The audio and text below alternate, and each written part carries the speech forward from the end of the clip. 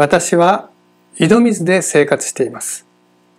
地中に直径10センチ、深さ60メートルの穴が掘ってあり、その中に深井戸ポンプを設置して水を汲み上げています。数ヶ月前、この井戸水を生活に用いるかどうかを判断するために、水質検査所に持って行って分析しました。ちょうど梅雨時でしたので、少し一般細菌が見つかりましたが、毎日使用していれば、それも減少していくので、生活に用いても特に支障はないでしょうとのことでした。それ以来、家の中にこの井戸水を引き込んで飲み水にも使用しておりますが、味も美味しく、畑にもたっぷり水まきできるので、とても助かっています。さて、私が田舎のこの家に引っ越してきて、この井戸が使えるようになるまでには、かなりの時間がかかっています。実は、この家は12年間も空き家状態になっていました。そして、その間に空き家泥棒が入って、前の持ち主の深井戸ポンプを盗もうとしたのです。しかし、深井戸ポンプには井戸水を汲み上げる揚水管という水が入ったパイプがつないであり、また深井戸ポンプもかなり重かったため途中で挫折したらしく、その腹いせに揚水管パイプを切って深井戸ポンプごと深さ60メートルの井戸の底に落としていったのでした。ですから、この井戸をまた使えるようにするためには、この深さ60メートルの井戸底に捨てられたポンプをまず引き上げなければなりませんでした。これがとても大変な作業で、正直、深井戸ポンプが盗難にあって持って行ってもらった方がまだ全然マシでした。結局、いろいろと試行錯誤しながら、この井戸底に落とされた深井戸ポンプを取り出すのに半年かかり、やっとのことでこれを回収できました。実は最初からこの井戸の中に深井戸ポンプが捨ててあるという状況が把握できていたわけではありませんでした。もちろん半年の間、神様に助けを祈り求めていたのですが、ある時、こちらに引っ越してきてから間もなく知り合いになった方から防犯カメラを貸していただくことになりました。そしてそれを井戸の中に突っ込んでテレビモニターで確認したところ、中にポンプが捨てられている状態であることがやっと分かったのです。そこから神様は、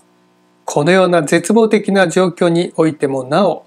様々な知恵とアイデアをお与えくださり、結果的にこの捨てられていた深井戸ポンプも揚水管もすべて回収した上で、新しい深井戸ポンプを設置して、初めて使用できるようになったのです。ところで、次のような聖句があります。人の心にある計りごとは深い井戸の水のようだ。しかし、悟き人はこれを汲み出す。私のところの深井戸もそうだったのですが、この深井戸の中の状況をちゃんと把握できていなければ、その対処方法もなかなかわからないものです。一体私たちの心の深井戸の中には何があるのでしょうか？そしてこの深井戸の水を汲み出すものを悟き人と表現してあるのはどのような意味でしょうか？ここで一つ最近私にとって気になる引用文を皆さんにもご紹介いたします。クリスチャンにとって最大の誘惑は内から湧き起こるものである。彼は生まれつきの心の傾向と戦わねばならないのである。主は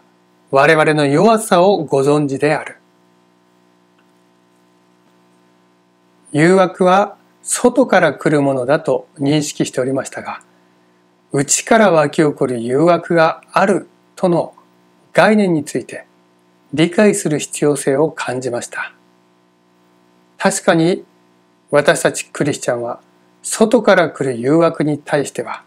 少なからず勝利の経験があるかと思います。なぜなら外から来る誘惑にはある程度の選択の余裕があるからです。例えば私が昔ギタリストの仕事をしていた頃教会で演奏することが決定したすぐ後に大きなイベントで演奏する仕事も入ってきました。私は大きなイベントでの演奏の仕事を受ければ、その後も仕事が入ってくるだろうとの概念が一瞬起こりました。しかし結局、最初に教会での演奏を引き受けていたし、何よりも神様からいただいた機会でしたので、それを優先するために、イベントでのお話をお断りすることにしました。そうしたら、その話を持ってきてくださった方が、もう二度と演奏の仕事はないと思え、と怒ってしまいました。これは、外からの誘惑に対して、何とか勝利できたという話ですが、内から湧き起こる誘惑があるならば、簡単にはその誘惑に勝てないかと思います。一体それはどのようなものなのでしょうかここで次の引用文から考えてみましょう。誰も罪を犯すように強制されることはない。彼自身の同意がまず必要であって、欲望が理性を支配し、不義が良心を征服する前に、その魂が罪の行為を意図しなければならない。どんなに強くとも誘惑は罪の言い訳にはならない。内から湧き起こる誘惑とは、もともと自分の中にある罪に対する欲求に過ぎず、罪を犯すことは欲求に同意するということなのです。つまり自分の意思による選択が含まれて初めて罪を犯すということになるのです。さらに次の引用文には心の中でいろいろと妄想もしくは想像して心の中で密かに罪をもて遊んでいるだけでもそれは神様の見舞いに実際に行動に移したと同じように罪を犯したとみなされるその概念について記されてあります。あなたが虚しい想像にふけり、あなたの頭脳に不純な事柄を考え巡らすのを許すなら、ある程度神の前にあなたはその想像を実際に行動に移したのと同じく罪がある。行動を阻んでいるのは、その機会がないというだけのことである。このように私たちが誘惑に同意する方向性に働きかける何かが私たちの心の奥底に潜んでおり、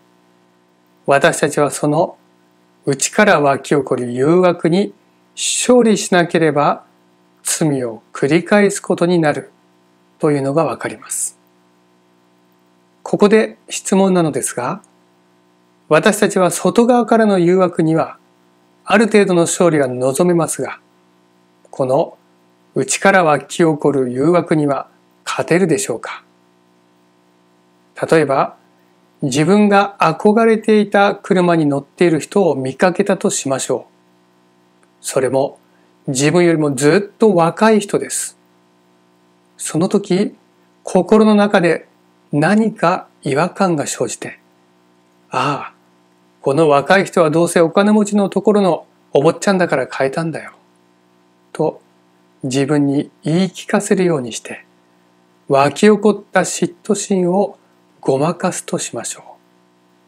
それは表であって嫉妬の態度を表したわけではありませんが、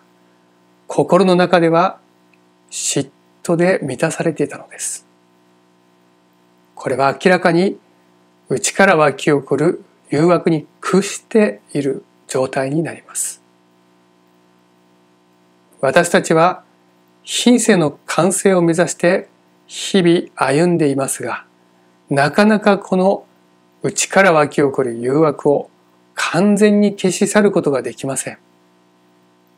しかし今回、この状態についてさらに理解が与えられました。私は今までこの内から湧き起こる誘惑がある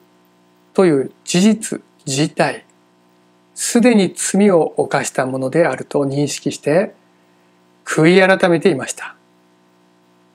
しかし実際、この問題は今日に至るまで一向に解決していません。まだ内から湧き起こる誘惑があるのです。つまり、悔い改めても悔い改めても、この内から湧き起こる誘惑が消えないのです。果たして皆さんはいかがでしょうか？私と同じように内から湧き起こる誘惑はまだあるでしょうか？そしてそれを悔い改めたでしょうか？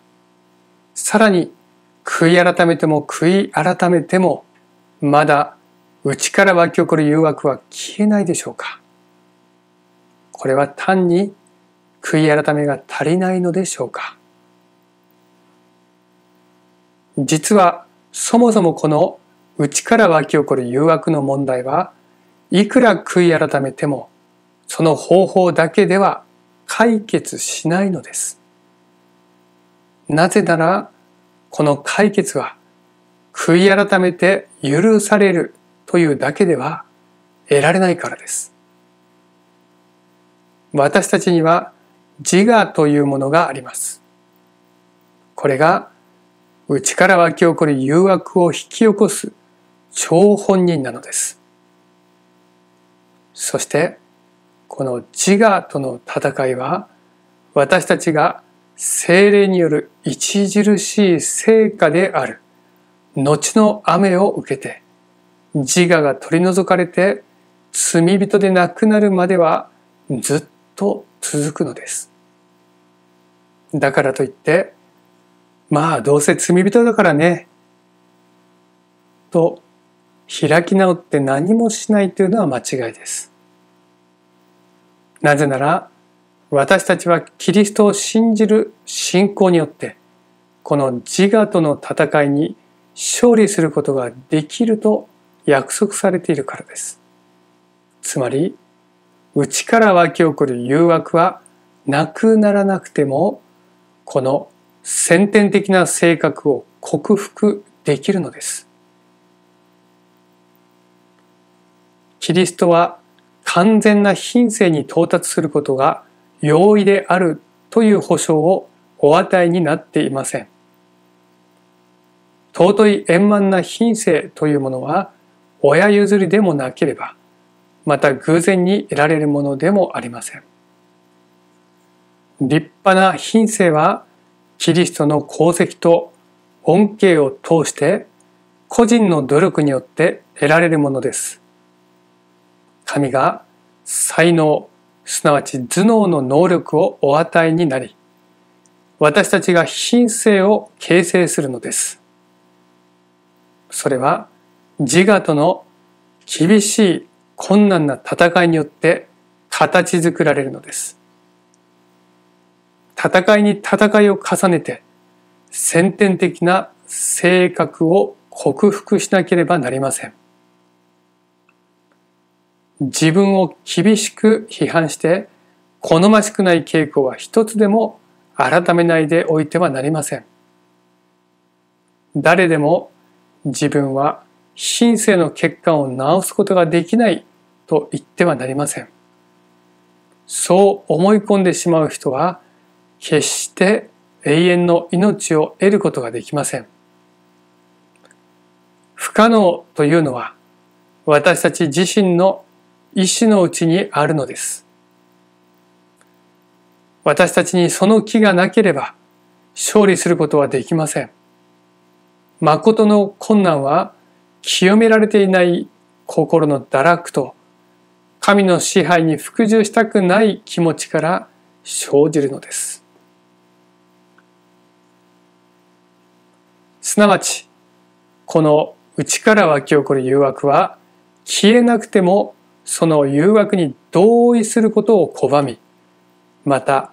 罪深い想像や妄想にふけることを拒絶するならば、私たちはこの戦いに勝利することができるのです。言い換えれば、一番重要なのは、内から湧き起こる誘惑をとにかく拒絶し続けるということなのです。好ましくない言葉の罪は悪い思いを心に秘めるときに始まる。不純な思いをそのままにし、清くない欲望を心に秘めるなら、魂は汚され、その忠誠さは妥協させられる。我々が罪を犯さないことを望むなら、その最初の兆しを避けなければならない。どんな清くない思いも瞬時に追い払わねばならない。たとえ内から湧き起こる誘惑が心の中に見られても、それは今までの罪深い生き方によって得てきた罪の歴史の産物です。残念ながらそれは知ってしまった罪の知識であり、罪の刈り取りそのものなのですが、それらは悔い改めるという方法だけでは解決しません。しかし、そのような自分の状態を悲しむことはとても大切なことです。なぜなら、自分の無力さを知ることになるからです。そして、無力な自分の現状のすべての解決を神様に持っていくためには、この罪の自覚を常に持ち続ける必要があるからです。そしてこれが神様とより親密な関係を保つためには絶対に必要なことなのです。神に近づきなさい。そうすれば神はあなた方に近づいてくださるであろう。罪人どもよ、手を清めよ。双心の者どもよ、心を清くせよ。苦しめ、悲しめ、泣け。あなた方の笑いを悲しみに、喜びを憂いに変えよ。実は、この問題が私たちの心の深い井戸に沈められていた問題なのです。そして、この問題解決のためには、私が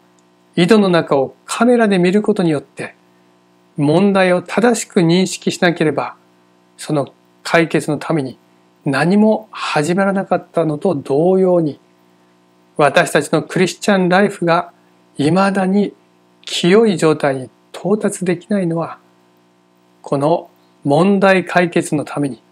正しく認識しておらず、それゆえまだ着手できていなかったからです。それではどうすれば内から湧き起こる誘惑に対して勝利することができるでしょうか？その方法について考えてみましょう。実は内から湧き起こる誘惑に唯一抵抗できるのは私たちの中に働く理性なのです。この理性は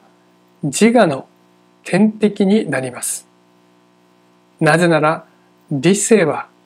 神の霊である精霊の内住によって確立されるものであり、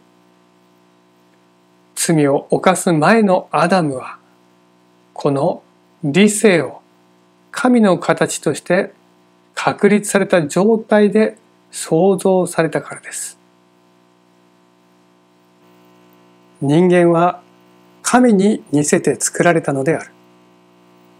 神の性質は神の身胸と調和していた。人間の知力は神の事物を理解することができた。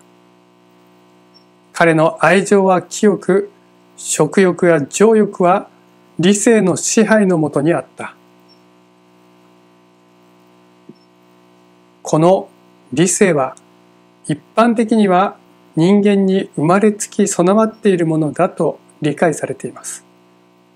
しかしそれは全ての人に神の霊である精霊が働きかけているからです。新バビロニア帝国のネブカネデザル王は神の摂理のうちに理性が取り除かれて7年間も野の獣のような状態になりました。つまり人間が本能だけで生きたらどうなるかという前例になったのです。しかし神様は摂理のうちにまた精霊によってネブカネゼザル王の心に理性を再創造されました。彼は生まれ変わったような状態になり、神様に仕える良い王になったのです。この時、私の理性は自分に帰り、また我が国の公営のために我が尊厳と好奇とが私に帰った。我が大臣、我が貴族らも来て私に求め、私は国の上に固く立って前にも勝って大いなるものとなった。この神に属する理性は今からでも私たちの心の内に確立されるのです。この経験を品性の清めと言います。そしてこの経験の中で私たちの意志は強化され神様のご意志に沿うものとして歩むことができるようになりさらに内から湧き起こる誘惑に対しても断固とした抵抗ができるようになるのです。内から湧き起こる誘惑についてもう一度繰り返しますが、このような誘惑が心の中に湧き起こるのは私たちが罪人であるという事実に基づきます。自我なる存在が機会があるごとに自我の要求を投げかけてくるからです。それは自我の働きゆえ自我が存在している限りは悔い改めただけでは解決しません。しかしその罪人という事実を認めて自分が罪人であることを嘆き悲しむことは神様の見舞いに胸を打って自分の罪を嘆くあの酒税人と同じ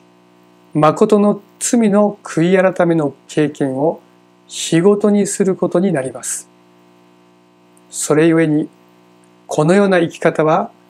神様の必要性を常に感じることができます。そして神様は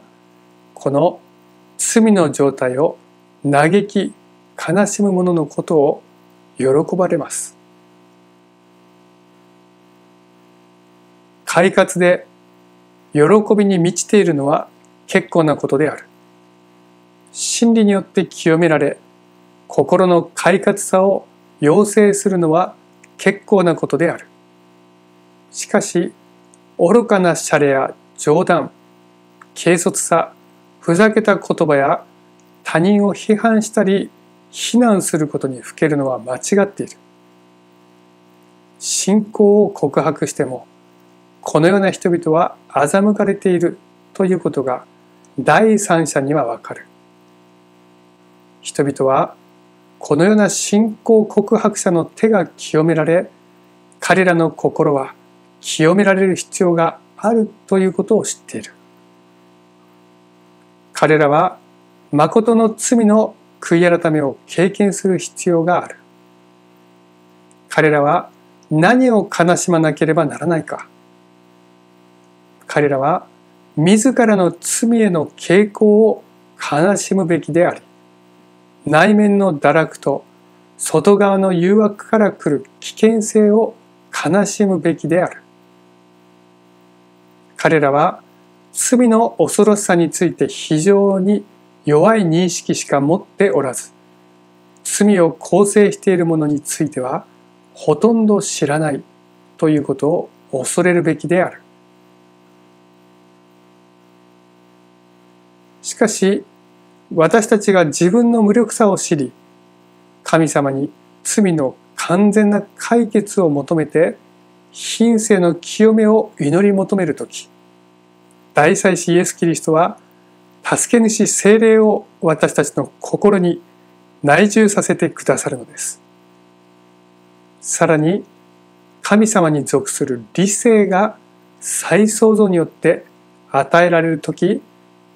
私たちは自我の要求に屈せず罪に勝利することができるようになるのです。実はイエス・キリストも精霊を内住させるというこの方法で父なる神のご意志を完全に行うことにより生涯罪を一度も犯されなかったのです。自分自身の力では我々の堕落した性質のやかましい要求を拒むことができない。この道からサタンは心目を持ってやってくる。キリストは彼が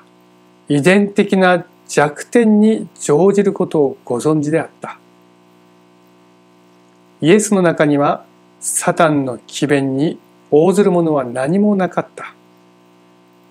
イエスは罪に同意されなかった。一つの思いにおいてさえ彼は試みに負けたまわなかった。我々もそうなれるのである。キリストの人生は神聖と結合していた。イエスは精霊の内住によって戦いに備えられた。私たち罪人の心の中に内から湧き起こる誘惑がある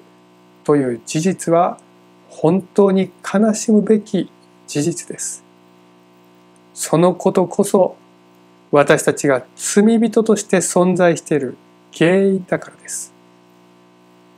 しかしこの自我が取り去られる時が必ず来ます。その時こそ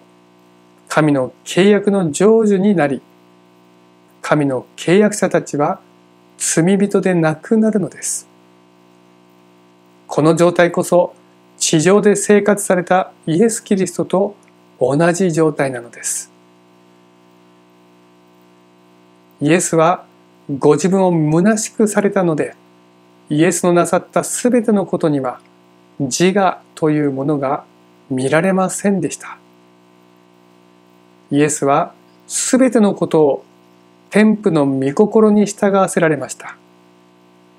この世のイエスの任務がまさに終わろうとするにあたって、イエスは、私は私にさせるためにお授けになった技を成し遂げて、地上であなたの栄光を表しました。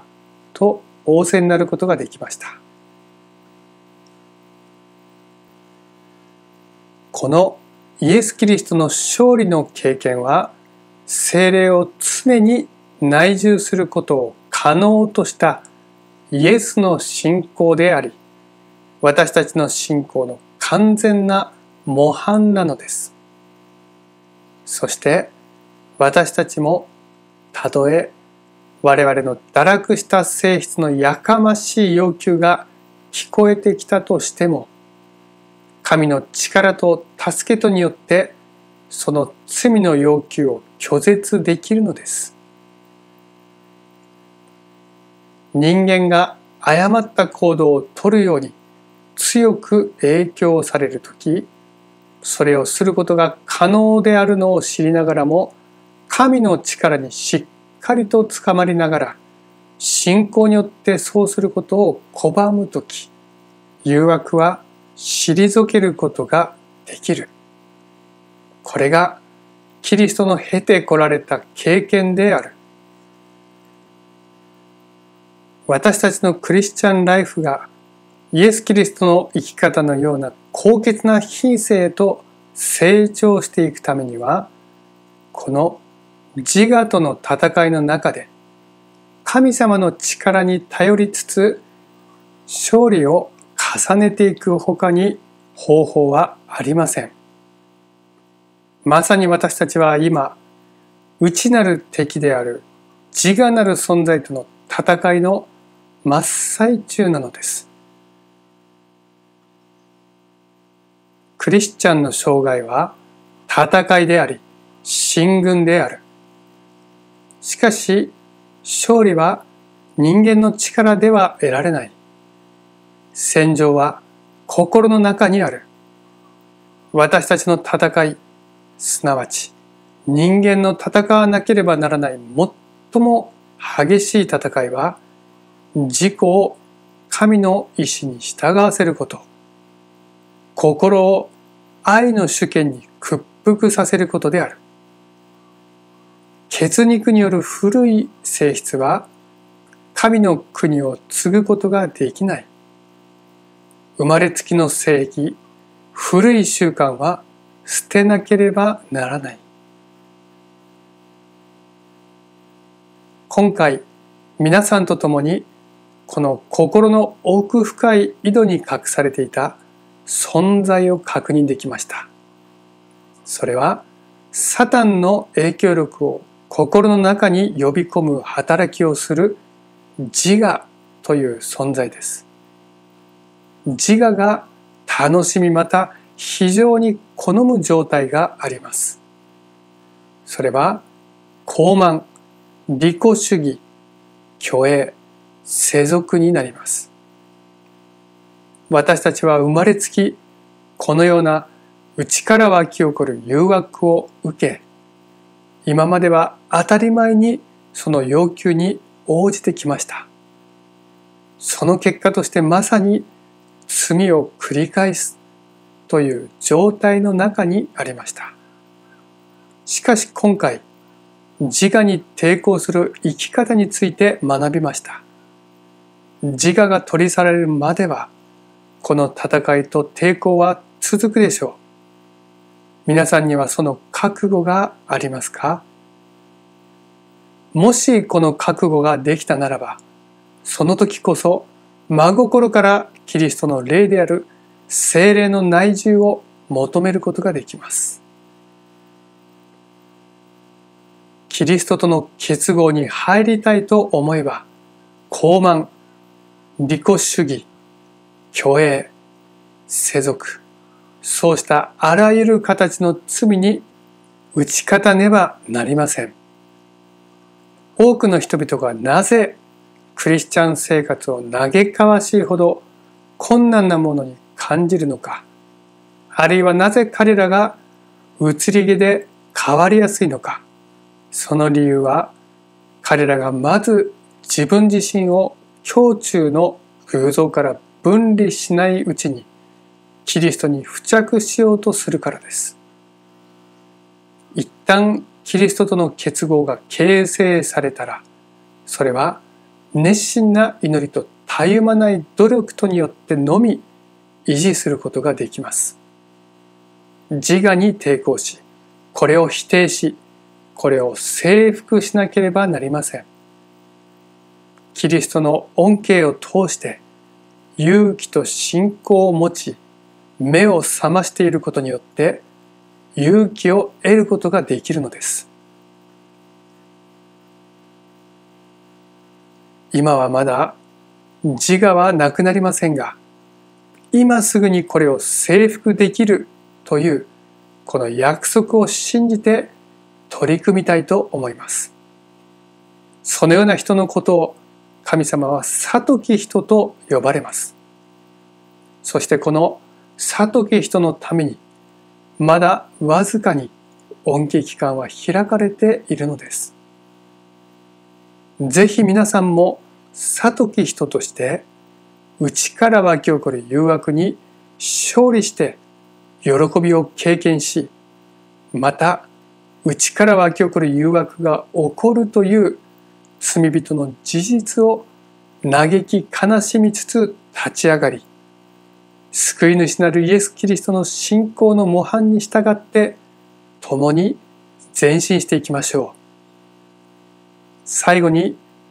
次の約束をご一緒に読んで終わりたいと思います精霊は絶えずクリスチャン品性の完全を求めているものと共に住まわれる。どのような緊急時にも、どのような誘惑のもとでも、努力し、格闘し、信じている魂を支えるために、精霊は純潔な動機、生きて活動する原則をお与えになる。精霊は世の憎しみ、親族の不親切、失望、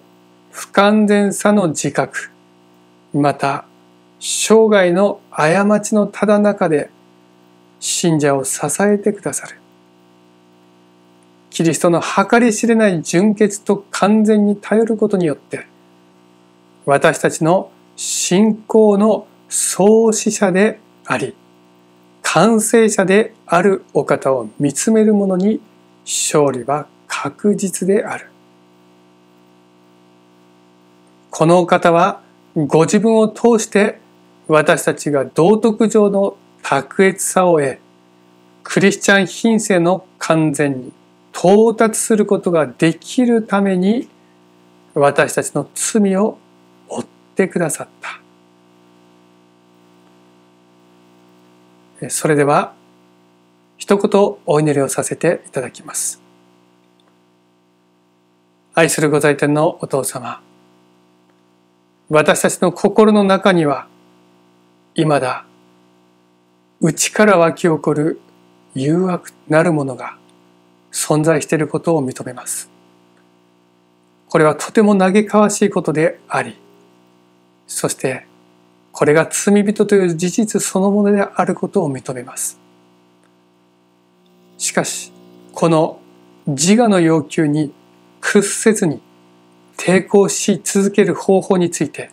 知ることができましたことを感謝いたします。今こそ私たちはこの戦いの中にあってあなた様に助けを求めたいと思います。そしてあなた様がこの求めに応じてくださるお方であり、またその助けとして精霊様が私たちに与えられ、また内住してくださり、私たちに神に属する理性を再創造してくださるという約束を信じます。そしてこの方法によって私たちは内から湧き起こる誘惑に勝利できるというこの約束を信じたいと思います。どうぞ今共に心を合わせて祈っておられるお一人お一人にこの証が日々与えられますようにお願いいたします。この祈りを感謝して、救い主イエス・キリストのお名前を通して、見舞いにお捧げいたします。アーメン。